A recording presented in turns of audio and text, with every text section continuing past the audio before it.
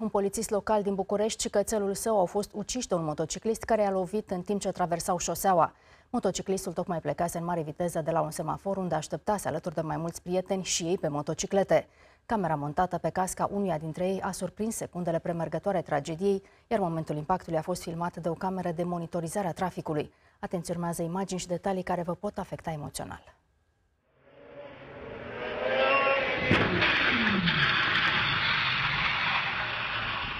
Motocicleta condusă de un tânăr de 25 de ani a intrat cu o viteză nimicitoare în bărbatul de 56 de ani care traversa calea 13 septembrie, alături de câinele său. Bărbatul nu era pe trecerea de pietoni, iar în urma impactului a fost aruncat la 10 de metri.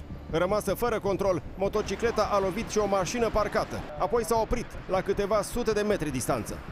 Camera montată pe casca altui motociclist a filmat cum cel care a provocat accidentul a plecat în viteză de la semafor, turând continuu motorul și lăsându-și mult în urmă prietenii pe motoare.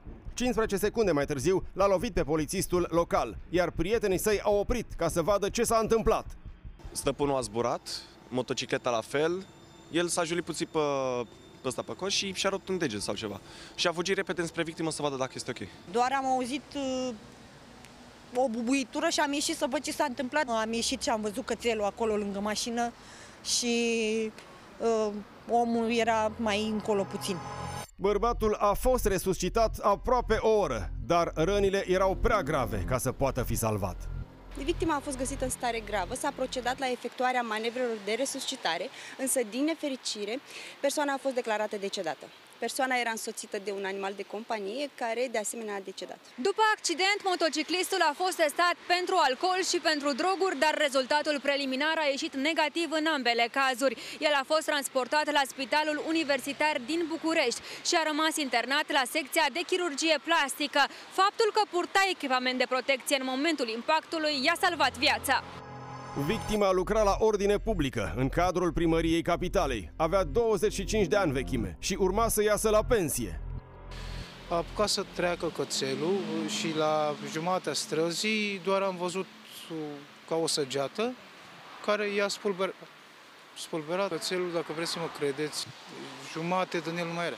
Ei reușiseră să încetinească, dar uh, băiatul în cauză ce a vrut să demonstreze, nu știu strada era goală, de-aia probabil cred că și tatăl meu a hotărât să treacă strada. Motociclistul care e în aceste imagini este un teribilist, îmi pare foarte rău pentru el. Deci, practic, a demarat în trombă de acolo, lucru care nu se face. Ca să nu mai spun că la 5 grade aceste cauciucuri devin cramponate, adică se durifică. Motocicleta lunecă așa ca, ca niște patine. Ca motociclist eu condamn felul ăsta de reacții, să zbughește așa Recent, președintele Claus Iohannis a trimis la Curtea Constituțională legea care le permite șoferilor să obțină mai ușor dreptul de a conduce motociclete. Președintele le-a reproșat parlamentarilor că au modificat legea fără să respecte procedurile și au votat ca după un curs de 10 ore, șoferii cu permise de categoria B să poată conduce scutere sau motociclete cu o capacitate cilindrică sub 125 de centimetri cubi.